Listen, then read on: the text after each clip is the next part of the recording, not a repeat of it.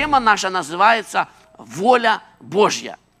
Воля Божья. И если вы помните, то первую часть темы мы посвятили так называемой воле Божьей позволительной. Помните или нет? То есть воля Божья, друзья, она существует в двух различных вариантах или качествах. Давайте я лучше применю слово «качество». И вы знаете, что и ваша воля существует тоже относительно к вашим детям в двух различных качествах. Например, у вас есть воля, которая выражает ваше желание, а есть воля, которая тоже ваша воля, но вашего желания по относительно, относительно к ребенку она не выражает. Да? Когда ребенок приходит и что-то просит, и тебе его просьба нравится, и ты говоришь, окей, иди, делай, бери, да? То это та воля, которая, как бы сказать, ваша воля. Но временами нам не нравится, что делают наши дети. Да? И мы им говорим, окей, иди делай. Хотя нашего желания с этим нету. И мы своего рода позволяем им, да? Поэтому я так и назвал, что есть воля Божья. Первое качество воли Божьей, это она благая, угодная и совершенная. То есть то, что Богу приятно, то, что когда мы повинуемся тому, что Он хочет. Но есть вторая а, воля Божья, которая называется воля Божья позволительная. Это когда мы не хотим слушать Бога, делаем то, что мы хотим, а мы знаем, что в мире все происходит по воле Божьей, то, Бог, то начинается, мы вступаем в, в поле действия воли Божьей позволительной. Так вот, итак, как Бог выражает свою волю? Скажите мне, как Бог выражает свою волю? Вы верующие люди или нет? Через Слово. Хорошо. Меня интересует, да представьте, что я человек, первый раз попал в христианство, вы мне говорите, Бог живой, Бог говорит. Я говорю, «А у него есть воля. Да, он выражает свою волю как-то, да. Как он выражает свою волю? Объясните мне. Вы, если вы верующие люди, вы должны это знать. Через Слово Евангелия. То есть есть воля Божья записанная. Так? Так мы понимаем. Все, что здесь записано, это его воля. Допустим, я читал Евангелие и ответ на свой вопрос не нашел. Как дальше мне быть? Друзья мои, я хочу, чтобы мы... Для чего я вообще задал этот вопрос? Э, я, я лично считаю, что есть минимальный уровень, который должен быть в жизни любого христианина. То есть есть, есть вещи, которые Бог обязательно сделает. Обязательно, без исключений. Да? Так вот, то, что касается воли Божьей, всегда ли Бог отвечает нам или нет? Имеем ли мы право всегда знать волю Божью? Имеем? Имеем. То есть Бог обязательно скажет тебе.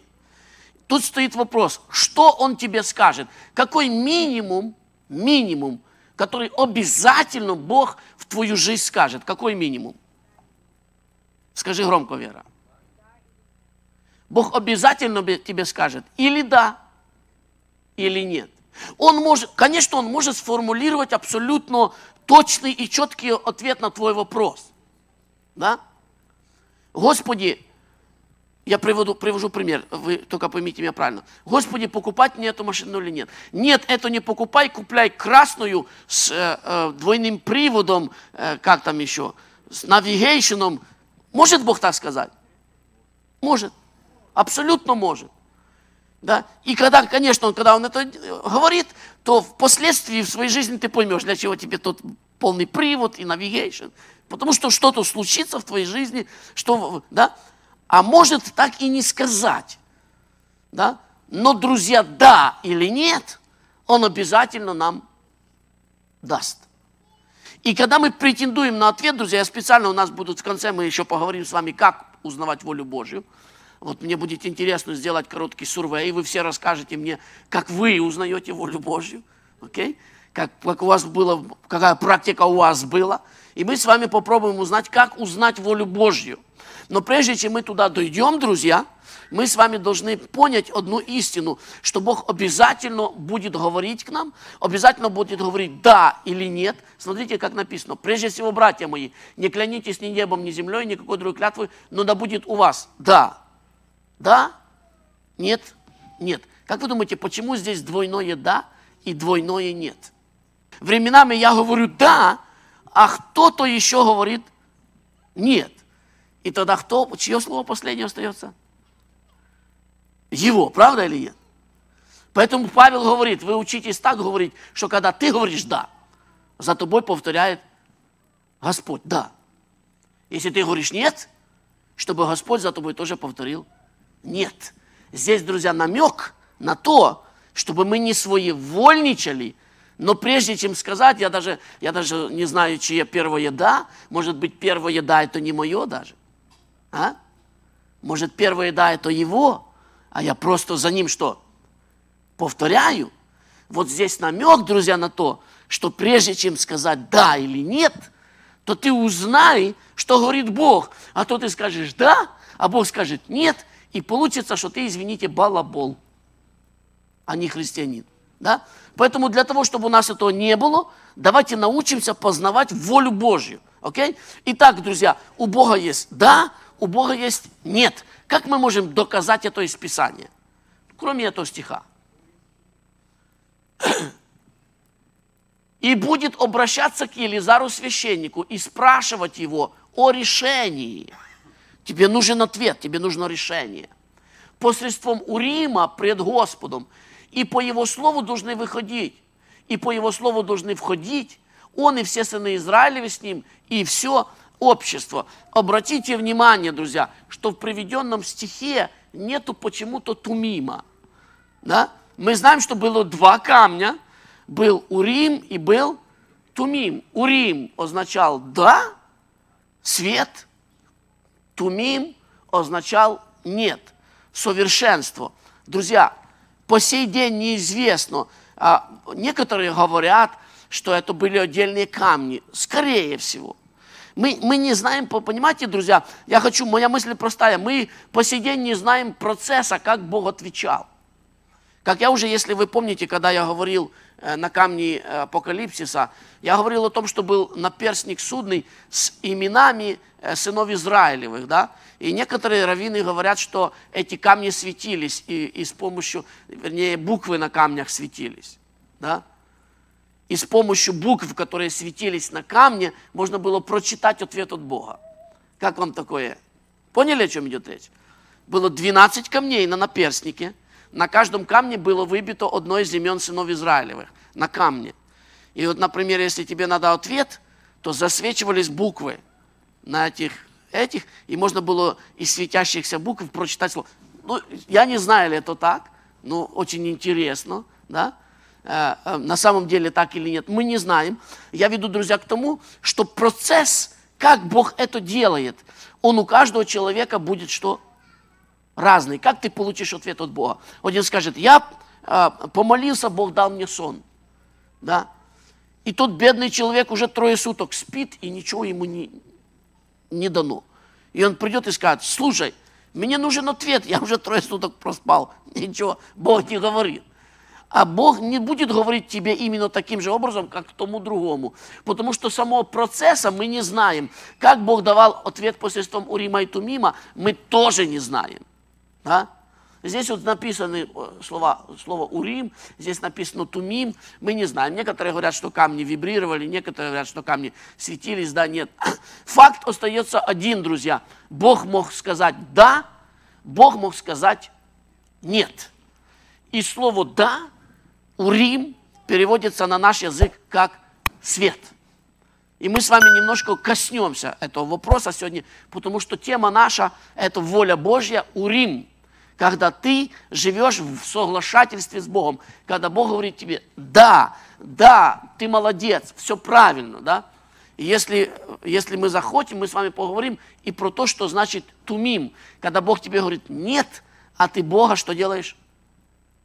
не слушаешься, и ты идешь, и ты делаешь то, что ты хочешь, да, то ты не выходишь из-под воли Божьей. Если ты христианин и дитя Божье, ты в воле Божьей, но только качества воли Божьей тумим, они совсем не такие, как качество воли Божьей урим. Поняли? Совсем другие. Вы понимаете значение слова качество? Понимаете значение слова качество? Не качество как, как, как, как качественный фрукт, а качество как, э, имя прилагательное, лучше выразиться так, да? Качество как имя прилагательное. Поэтому Урим, друзья, это всегда благая, Урим это всегда угодная, Урим это всегда что? Совершенная, а Тумим. А Тумим это всегда неприятная, Тумим это всегда э, страшная, пугающая, Тумим это всегда непонятная. И, и так можно продолжить эти, эти качества, да? Но это тоже воля Божья. Псалом 90, друзья, описывает действие а, воли Божьей, которая является Урим. И мы с вами немножко а, углубимся в этот псалом и поймем. Но чтобы вам, друзья, доказать, что э, псалом 90 описывает праведника, который живет по воле Божьей, то давайте прочитаем первый стих этого псалма, и он звучит так. «Живущий где? Под кровом Всевышнего, под сенью всемогущего что? Покоится». Другими словами, давайте, давайте перефразируем это место Священного Писания. Библия говорит так, что есть люди, которые живут под покровом Всевышнего, а есть люди, которые не живут под покровом Всевышнего. Так или нет? Так? Скажите, что за человек, который живет под покровом Всевышнего? Это он нормальный христианин или нет? Правильно? Друзья, чтобы нам понять эти, эти все вещи, мы с вами сейчас очень коротко разберем буквально первый стих, потому что первый стих нам нужен, друзья. Воля Божья. Смотрите. «И не сообразуйтесь с веком сим». Это Евангелие, брат Филипп но преобразуйтесь обновлением ума вашего, чтобы вам познавать, что есть воля Божья, благая, угодная и совершенная. Во-первых, друзья, я хочу, чтобы вы обратили внимание, что волю Божью невозможно понять, с как бы выразиться, в попыхах. Вот так, раз и все. Человек с лету, спасибо, Олежек, э, человек, который только попадает э, в собрание верующих, он, скорее всего, будет растерянный, он не будет понимать наших ценностей, он много чего не будет понимать. Почему мы не идем на работу, идем в собрание, почему мы жертвуем э, деньги и много, многих вещей. Впоследствии, друзья, мы с вами взрослеем, но все же мы не взрослеем настолько, чтобы понимать волю Божью полностью. Смотрите, не сообразуйтесь с веком сим. Нам нужно определенное время, чтобы удалиться от мира. И когда мы удаляемся от мира и не сообразуемся с миром, то после этого происходит то, что называется преобразование нашего ума. Чтобы понять волю Божью, нужно, чтобы что-то в голове у нас поменялось. Согласны или нет? Можно ли, друзья, понять человека, который на похоронах радуется – можно или нет? Смотрите, если бы, если бы мы были абсолютно неверующие люди, абсолютно неверующие, мы бы сказали, сошел с ума. Но Писание нам дает заповедь всегда, например, что? Радуйтесь. И Библия говорит, я хочу, чтобы вы не скорбели об умерших, как, как кто? Как прочие. Почему? Потому что у нас есть надежда, а, а у хорошего христианина не только надежда, но и что? И вера в то, что мой родной человечек перешел в лучший мир. Да? И если ему сейчас... Почему мы плачем? Мы плачем, потому что это потеря, его здесь нету, может, он страдал. Да? Но я вам даю гарантию, если бы приоткрылись наши глаза, и мы бы увидели процесс, как входит в душа в обители Господней, Дав бы нам Господь увидеть, прямо на похоронах. Я вам гарантирую, вы все стояли, что я только что, что я вам сейчас расскажу? О, вы, вы, вы просто не представляете, да? И все верующие его бы что? Поняли. Поняли. Потому что волю Божью он понял. Потому что ум его преобразовался. Потому что что-то Господь изменил. Правда? Конечно, я вас не агитирую на, на похоронах э, смеяться и радоваться, потому что неверующие нас не поймут в этом вопросе. Но с другой стороны, есть моменты, которые христианин понимает лучше, нежели все остальные, друзья. И то, о чем мы будем говорить, например, процессы Евроклидона, когда ты входишь, когда не повинуешься воле Божией, и Бог тебя начинает учить, то это все призвано только для того, чтобы в конце в конце это будет неправильно. Чтобы где-то в процессе нашей духовной жизни мы поняли, что Богу лучше повиноваться, что всегда, безоговорочно. Правда? Потому что где-то мы понимаем, что да, надо, но потом мы как-то не сильно хотим повиноваться. Окей? Но давайте, друзья, разберемся с качествами воли Божьей благой, угодной и совершенной. Итак, первая воля Божья, друзья, это какая? Это благая. Да? Я вам дам с греческого перевод, мы долго останавливаться не будем, а потом я немножко присовокуплю толкование. Благая обозначает хорошая, добрая. Кто по-английски читает, можете прочитать. У меня не было времени сделать перевод. Э, эту, э, так сказать, я взял прямо с лексикона это все. То есть слово «благая», она означает добрая, good по-английски. Все знают, что такое good, правда? Тут не надо больших переводов делать. Вот она угодная, друзья. Well-pleasing, да? Вот смотрите, в Римлянам написано так. Кто сим служит Христу, тот угоден. То же самое слово используется. Он угоден. То есть угодная – это то, то, что подходит, да? Причем подходит, друзья, не нам, я сейчас дальше объясню, а подходит Христу. И третье, друзья, определение – это э, совершенное. Слово «совершенное» можно сказать, ну, английское слово «complete», то есть завершенный. Английское, английское слово perfect, что означает э, совершенный в буквальном смысле слова. И, э, э, и э, haven't reached its end, что обозначает, что добавить нечего. Окей? Okay? Добавить нечего, все, конец. Совершенный, это все уже ну, нема, нема, нечего говорить. И давайте, давайте, друзья, обратимся, потому что мы волю Божью именно в положении у Рима начинаем познавать с, с первого пункта, а первый пункт – это воля благая. Что обозначает воля благая? Что значит воля, добрая воля?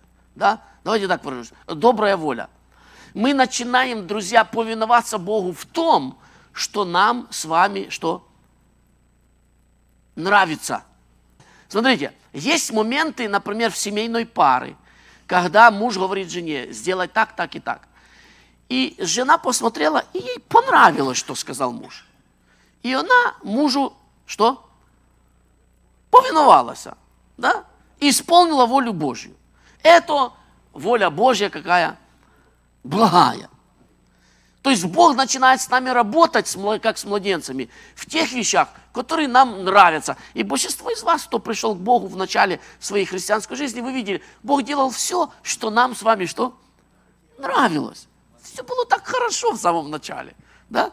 Все, Бог нас так окружал, такое благословение, и там устройство, и там, и там. И повиноваться воле Божьей было очень легко. Так или нет? Вот так Бог начинает нас учить. И э, потом, друзья, наступает момент в жизни семьи, когда муж говорит, сделай то другое, а жене это что? Не нравится. И тогда, друзья, наступает момент научиться нам воле Божьей какой? Угодной. Только не нам угодной, а кому? А тому, кому мы повинуемся, друзья. Да? И Бог тоже сначала, когда Он нас учит через волю Божию благую и дает все, что нам нравится, потом наступает момент, и Он начинает нас гладить против шерсти. И нам, мы стоим перед выбором, повиноваться или не повиноваться.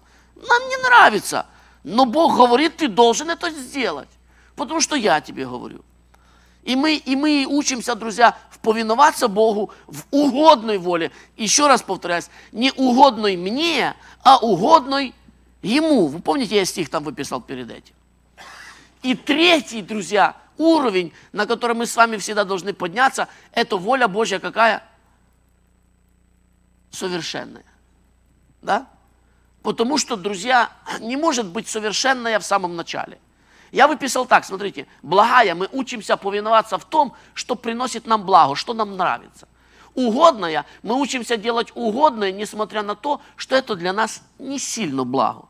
И третье я выписал так, совершенное. Мы пожинаем последствия нашего с вами послушания. На этом уровне мы учимся с вами и понимаем, что вот здесь я послушал, мне не сильно это нравилось, Я не сильно с этим был согласен, но здесь я послушался и вижу, что сделал что? Правильно. Результат я вижу.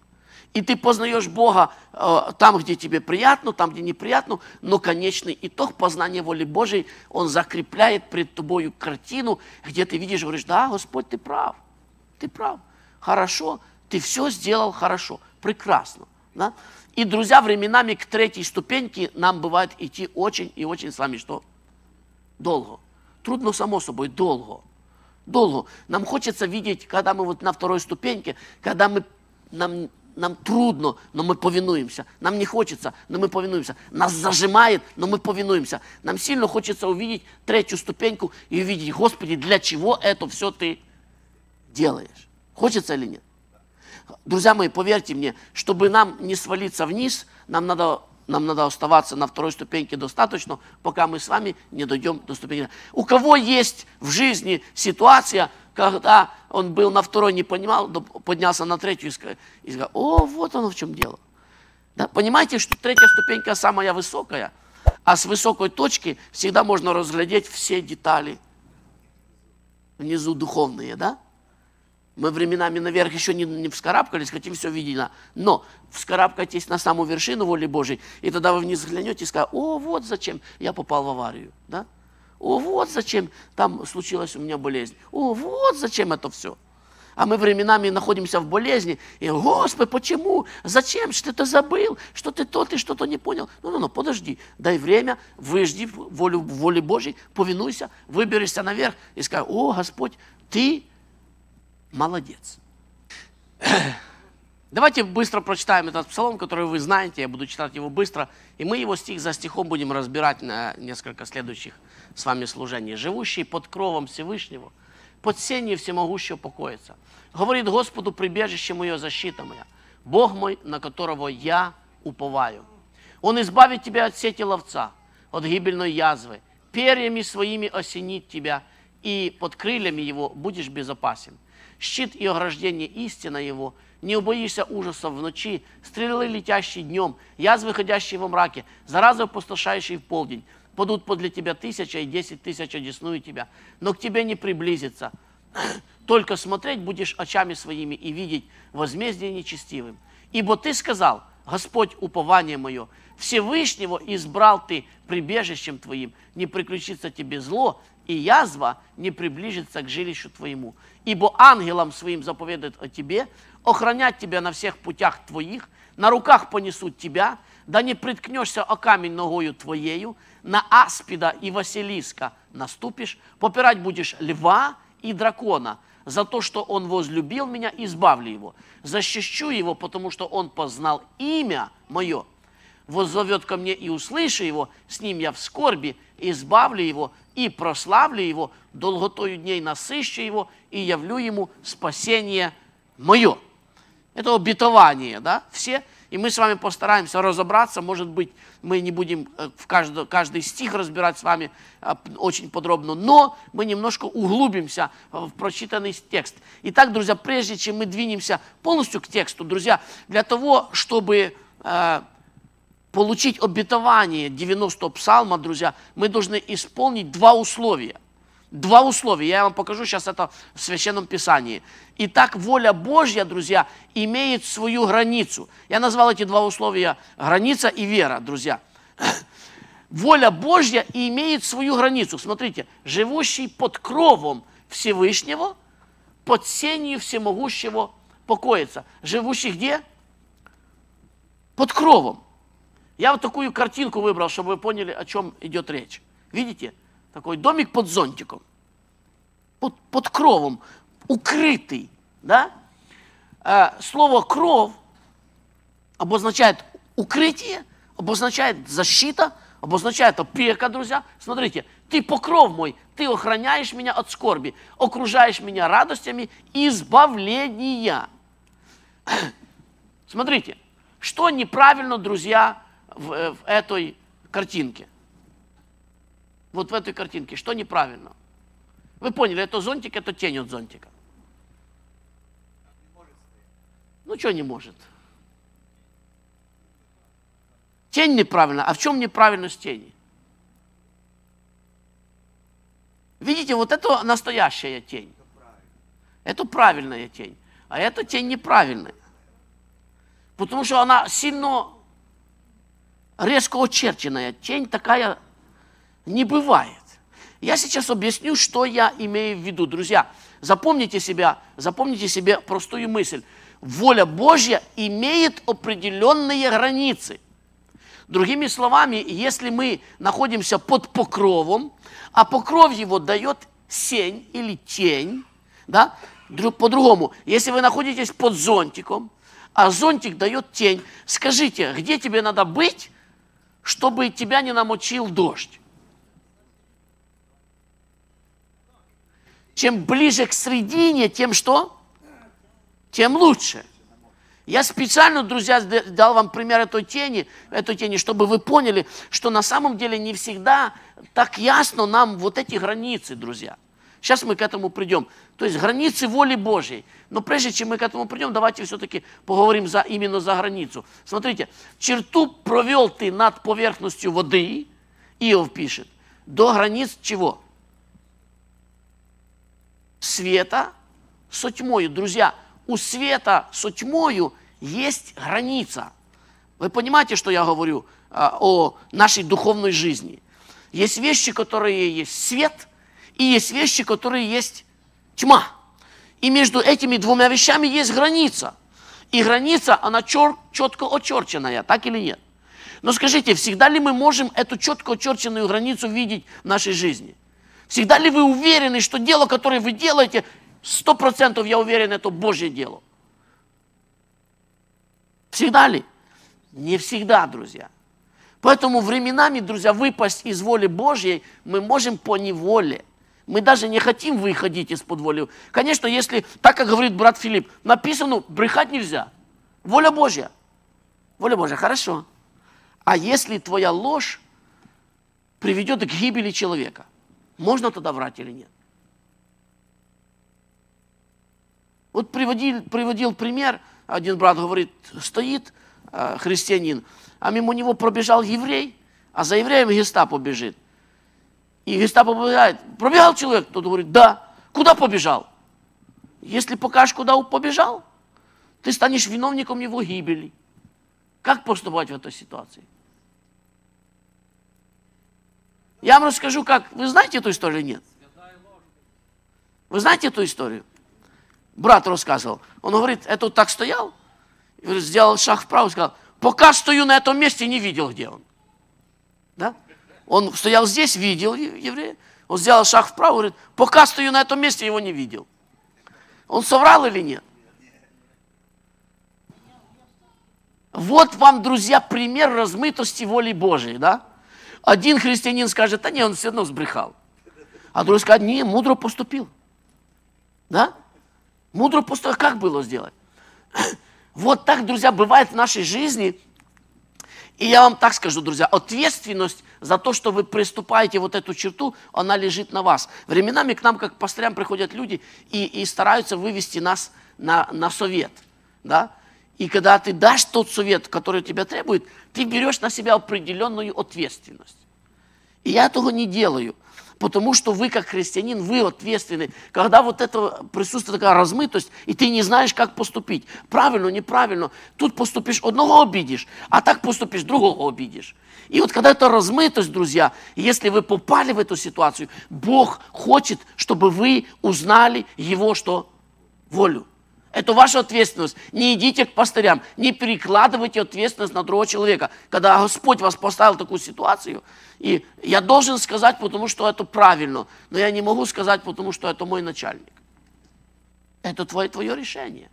Не иди к пастырям и не спрашивай, что мне делать. Пастор скажет, иди скажи, ты пойдешь скажешь, тебя выгонят с работы, э, служитель будет виноватый, что тебя с работы выгнали.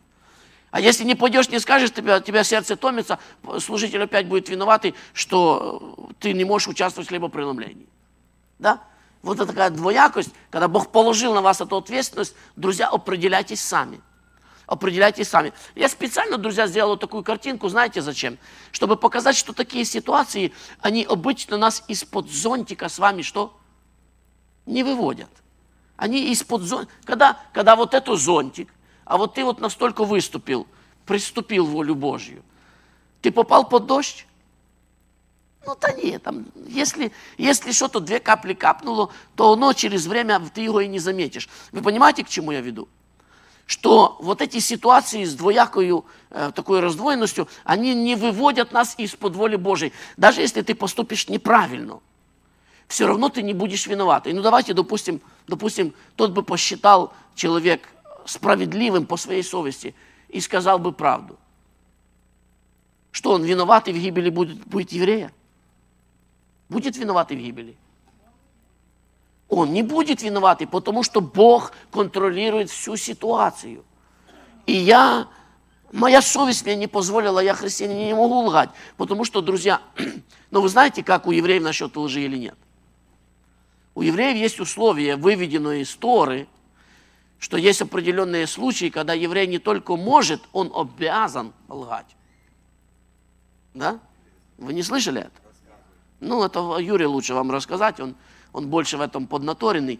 Но я когда читал эти вещи, я удивлялся, как можно, имея закон евангельский, Писание, даже Ветхий Завет, выводить такие э, законы. Да, ну там если, например, связано с, э, с угрозой для народа, если связано с угрозой для Торы, там у них есть предписание, что ты, э, в частности, например, есть разрешение, не предписание, а разрешение. Не еврею, еврей может солгать в вещах, относящихся Торы. Да? А, если, например, есть какая-то заповедь, которая э, Гою не надо знать, то еврей имеет право э, солгать, сказать, да-да, вот так, вот так мы учим, а, а на самом деле не так не учат и так дальше. Ну, расскажу, хорошо, расскажу вам пример, может будет не сильно приятно, но, например, вы слышали, что в одном из течений иудаизма есть учение, что гои, то есть не евреи, это скот на самом деле. Что Бог создал человека и создал скот. И все гои относятся к скоту. Вы слышали это или нет? Ну вот есть такое учение в, евре, в евреи. Раввины это учат. Но это учение вы не услышите. Это учение может услышать такой человек посвященный, потому что если, например, вы спросите у рядового еврея, он вам скажет, нет, такого учения у нас нету, потому что у него есть заповедь в этой ситуации вам врать. Поняли? Как это все хитро у евреев закручено. Так как мы изучаем иудаизм, мы кое-какие вещи знаем. И понимаем, почему Христос – это исправление закона. Без Христа э, люди приходят вот к таким вещам – таким глупым вещам, извините, что я скажу. Но, возвращаясь назад, я ушел в сторону, сори, извините. Небольшие, друзья, преступления нас не выводят из-под воли Божьей, когда ты не уверен, как поступить, и поступаешь, и поступаешь неправильно. Бог тебя за это не наказывает, потому что если ты сделал ошибку, ты сделал ее от искренности, да, и Бог покрывает тебя. Но выходить дальше, чем вот так, из воли Божьей нам что? Нельзя. Я бы сказал бы так, надо было нарисовать мне по-другому. Я бы нарисовал бы так, скорее всего, будет правильно. Чтобы одна нога, по крайней мере, осталась в воле Божьей, ну а второй уже там, где ты там походишь. То есть для каждого греха Бог отделяет определенное что? Время. И когда ты согрешил, ты не выпадаешь из воли Божьей до момента, пока не закончится время, отделенное Богу на покаяние. Например, в Писании вы найдете такое выражение – если говорить о э, прелюбодейцах, то там не написано грех прелюбодеяния. Кто помнит, как написано? Что можно разводиться, можно разводиться, но не за грех прелюбодеяния. Часто э, верующие даже не знают, как написано. Там не написано грех. Как там написано? Вина. Что означает, какая разница между вина и грех? Какая разница? Когда ты согрешил, ты виновен? Виновен. А когда покаялся, то что? То не виновен. Хотя согрешил, но не виновен. То есть, если человек, буквально я толкую это место так, если человек грешит и что? И не кается, то на нем остается вина. Но если, например, человек согрешил и покаялся, то мы не имеем права э, пушать э, мужа или жену на развод. Поняли? Разница часто берут повод, вот он согрешил. Но он согрешил, но он же сразу покаялся и пришел. Стройте дальше душе. Не, не, ну, мы должны понимать, как Писание говорит. Писание говорит, если вина есть, вина, конечно, это не поощрение, но немножко в сторону ушли мы. Хорошо. С границей понятно. Если на человеке вина, тогда Бог снимает с него ограду, и 90-й псалом для него закрыт. Второе, друзья, на, на что я хочу обратить внимание, э, воля Божья действует в тех людях, которые имеют веру, и давайте мы сейчас коротко с этой верой разберемся, потому что действие 90-го псалма э, распространяется на человека, который не приступил границы, он под покровом, и тот человек, который говорит Господу, смотрите, он говорит Господу, прибежище мое, защита моя, Бог мой, на которого я что? Уповаю. В буквальном смысле слова, друзья, 90-й э, псалом работает в жизни тех людей, которые, во-первых, поняли, что воля Божия имеет границу, во-вторых, друзья, они говорят. Они говорят. Что это означает? Как вы понимаете вот это полностью выражение? Я говорю. Что это значит? Я верил, потому и говорил. А теперь давайте в практическую сторону уйдем. Да? Что этот человек говорит? Что он говорит? Господь, Ты мое прибежище, Господь, Ты моя защита, Ты Бог мой, и я на Тебя что? Уповаю. Что это практически значит? Где работает 90-й псалм? Давайте возьмем часть, забежим вперед, возьмем часть 90-го псалма. «И язва не приблизится к жилищу твоему». Да? Как поступает человек, который исполняет, обратите, это первый стих, это условие. Если это условие не исполнено, 90-й псалом у вас не работает. Язва приближается к твоему жилищу. Как поступает этот человек? На самом деле возьмем, эпи, потому что язва, э, э, там на иврите обозначает язва, эпидемия, болезнь. Приближается болезнь, и э, всем делают прививки от болезни. Как должен поступать человек, который уповает на Господа? Вот, друзья, вам пример, то, то, о чем я говорю, что вроде как размыта воля Божья. Когда ты возьмешь прививку, ты согрешишь или нет? Нет. Медицина. С другой стороны, друзья, с другой стороны, есть люди, которые на самом деле, я верю, что есть такие люди, у которых есть вера, вера в то, что язва к моему жилищу что? Не приблизится. Тяжело в это верить или нет? Ну, хорошо, это всем нам не тяжело, бо язвы нету рядом. Нам всем не тяжело, потому что нету рядом язвы. Да? Ну, но когда, например, были эпидемии, и я не знаю, если вам интересно, то можете прочитать, я, э, в принципе, могу рекомендовать этого писателя, он довольно интересный, хотя он пишет про староверовые, про православные. Есть такой писатель Лесков, ну, это как бы один из классиков как Тургенев и так дальше. Я в свое время много перечитал, и он описывает жизнь одного человека, и описывает случай, когда э, его начали считать святым человеком, несмертельным. И это был случай, когда прошла эпидемия чумы. И эпидемия чумы, вы знаете, когда проходила в то время, то люди сотнями умирали, э, и э, не чумы, а, извиняюсь, другая болезнь, которая очень сушит, во время болезни сушит сильно. Что это за, за болезнь? Может быть, я не знаю, не буду, не буду говорить, что за болезнь, но во время, во время болезни человек очень сильно хочет пить. И э, в большинстве случаев люди, особенно которые оставались э, э, как бы одиноки, выкосила болезнь весь дом, и он, они сильно страдали именно из-за того, что не могли напиться воды. Получается, мама заболела, дети ей принесли воды, дети начали болеть. Дети все заболели, папа начал носить, и в конечном итоге папа остается один, и он страшно страдал из-за того, что просто не, мог напиться. Так вот, э, человек, о котором описывает Лесков, он ходил по домам, там, где вот это одинокие были умирающие, и просто давал им пить. И э, множество домов он прошел, и нигде он не заразился чумой он остался жив-здоров. И после этого про него прошла слава э, святого человека, друзья. Но войти в такой дом зачумленный, это, э, друзья, требует веры. Так или нет? Требует упования. Бог мой, на которого я что? Уповаю. Ты понимаешь по заповеди, ты должен этим больным принести облегчение. Какое ты только можешь. Исцелить ты не можешь, медикаментов ты не можешь, ты можешь помолиться и дать кружку воды. Вот, друзья, вот это признак человека, в котором написано, ты мое прибежище, ты моя защита. И когда он в это в сердце то, что он сказал в сердце, он сказал это с верою, то, друзья, 90-й псалом начинает в его жизни что?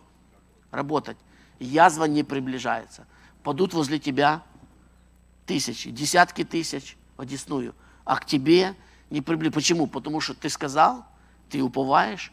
И, и самое главное, друзья, не забывайте первое условие. И волю Божью ты что? Не приступил. И Бог оградит, и Бог поставит охрану. Вот два условия, друзья, воли Божьей. Первое условие. Я привел вам пример женщине, страдавшей кровотечением. Да? Ну, 13-й псалом тоже интересный. Смотрите, вы посмеялись над мыслью нищего, что Господь – упование его. Почему, друзья, нищий уповает, скажите? Бо больше ему не на кого уповать. Я специально выписал два примера – и второй пример – женщину, которая страдавшая кровотечением, потому что временами, друзья, чтобы прийти к 90-му псалму, мы с вами проходим все, что, все, что только можно пройти.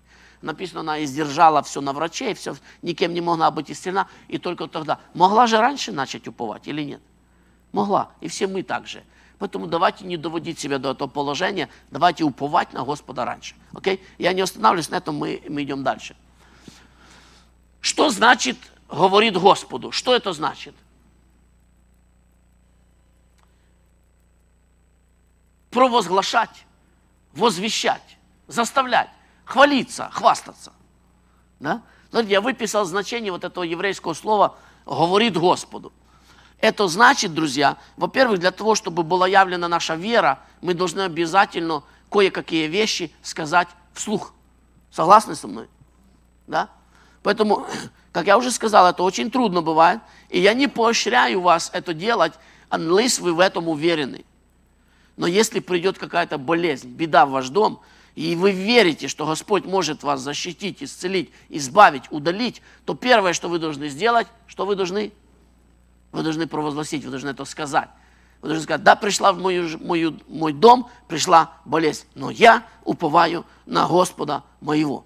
И дальше, друзья, надо идти и действовать соответственно твоей вере что является очень трудными, как я уже сказал, я вас не поощряю, потому что сегодня Олег проповедовал первую проповедь, и я благодарю Господа, что Бог вложил это в его уста, и он об этом говорил, что нам легче сегодня взять таблетку, нам легче, когда машина не заводится, вызвать механика, нам это легче. И никто вас за это не осудит, если вы так будете поступать. Но э, я вам предлагаю в следующий раз, когда это случится у вас, особенно вещи не сильно страшные, заболеете насморком, не заводится машина, еще что-то. Проэкспериментируйте. Станьте на колени и скажите, Господь, Ты упование мое, я опаздываю на работу, сделай так, чтобы машина завелась. Попробуйте. А может быть сработает, а? Я думаю, мы сегодня разберем с вами один стих и на этом закончим. Он избавит тебя от сети ловца и от гибельной язвы. Он избавит тебя от сети ловца и от гибельной язвы. Я хочу вас спросить, вы же все 90-й псалом знаете, читаете, на память знаете, да?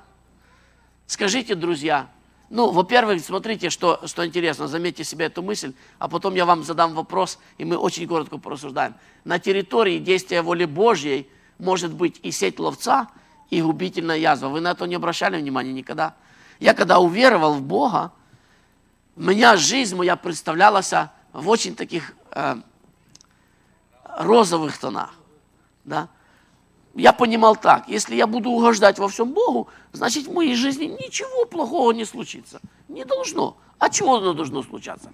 Самое главное – хранить себя, не выходить из воли Божьей, а Бог позаботится за все остальное. А потом, как оно на меня свалилось, то я понял, друзья, что на территории действия воли Божьей есть много различных вещей, которые нам не нравятся. Но это территория воли Божий, благой, угодной и совершенной. Давайте разберемся с первым стихом, и после этого, друзья, я думаю, мы с вами помолимся. Итак, сеть ловца, друзья. Во-первых, это слово переведено во многих местах как птицелов, сеть птицелова. Ловец – это птицелов. Но есть перевод, который мне нравится больше, и я вам ее предлагаю. Это ловец на приманку.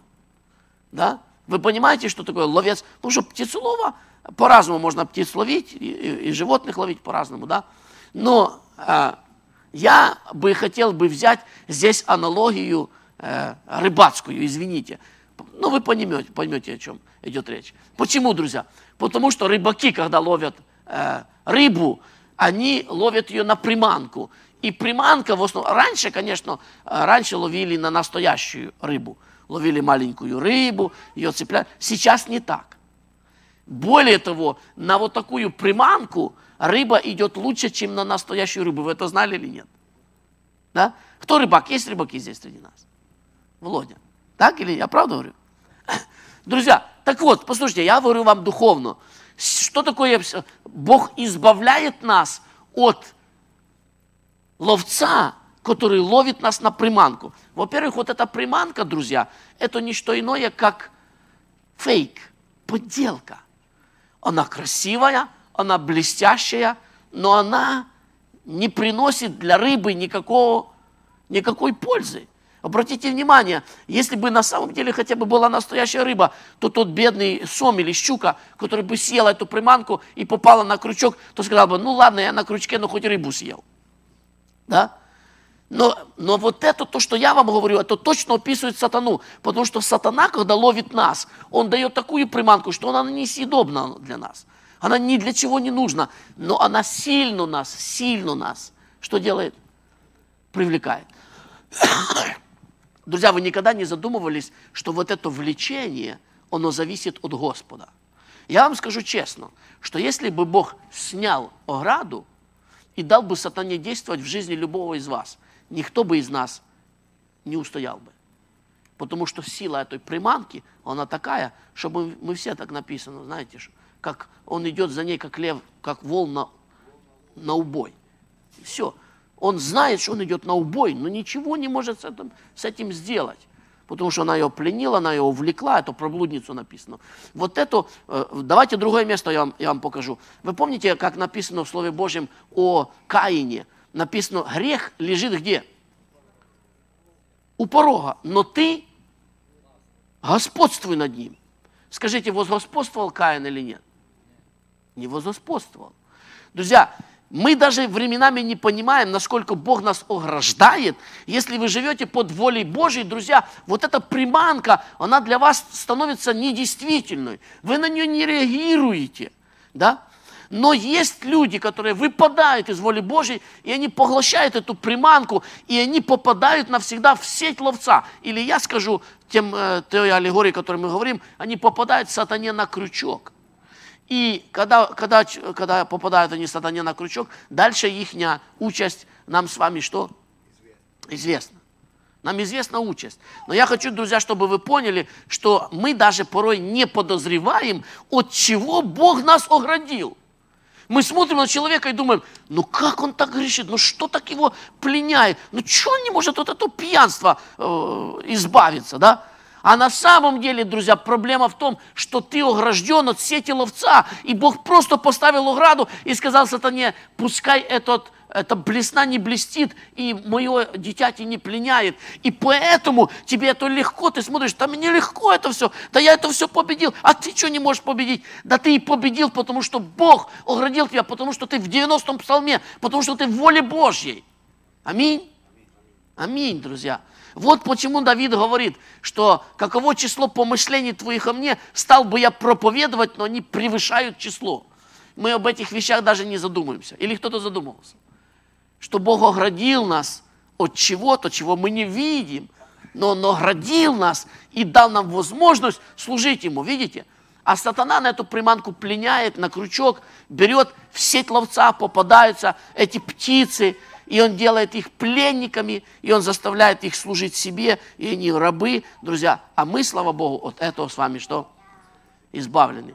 Друзья, в следующий раз, когда заблестит блесна в вашей жизни, проверьте, не выскочили ли вы из-под воли Божьей.